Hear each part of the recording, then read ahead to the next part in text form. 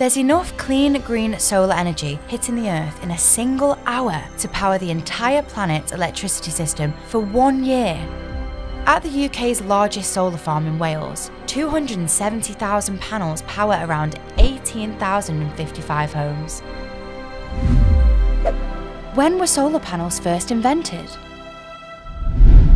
Humans have been harnessing the sun's power for thousands of years, using it to light fires.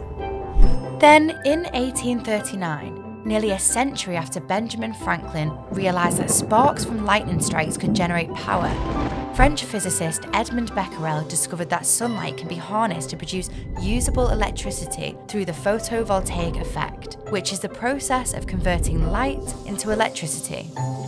American inventor Charles Fritts ran with this discovery and in 1883 invented the first solar cell. By coating selenium with a thin layer of gold, he created a device to convert light into electrical energy. The solar cell works like an incandescent light bulb in reverse. Where a light bulb converts electricity into heat that generates light, a solar cell absorbs light that generates heat, creating electricity.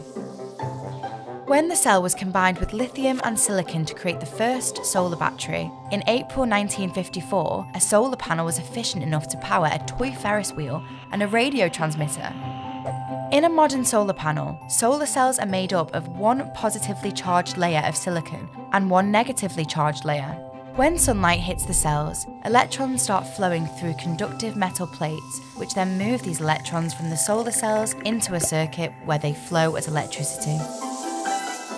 This electricity can be used right away, stored in batteries for later use, or even exported to the wider electricity grid for others to use. Would solar panels work on your home? Solar panels mounted to a roof can now power an entire home on a sunny day, and they continue to power that same home long after the sun has set when paired with batteries that store excess power. Typically, the more energy you use, the more beneficial solar panels will be. They work rain or shine and even on cloudy days. They'll just generate a bit less than in bright sunshine. The only time the panels won't generate energy is when the sun isn't shining. But nighttime is when your battery storage kicks in to pick up the slack. The climate clock is ticking away, and our need to replace fossil fuels is becoming even greater.